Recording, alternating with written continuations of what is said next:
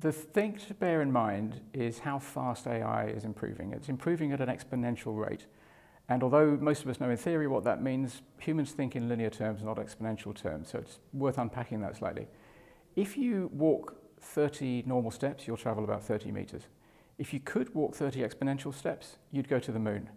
That's the power of the processes changing artificial intelligence.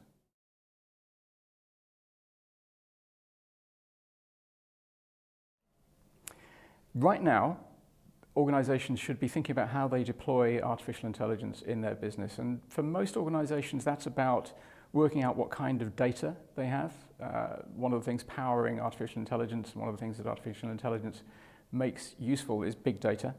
Uh, organizations have a lot of data. They should be deploying the latest algorithms, the latest systems to use that data.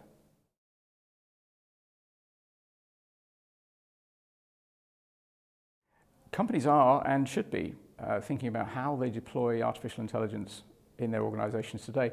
Uh, my interest, as you know, is in the medium and longer term impact on society and individuals of AI. And it's not really the job of companies to worry about that yet. But it is our job, all of us as individuals, uh, because the changes that are coming are going to be enormous and we need all to be thinking about it.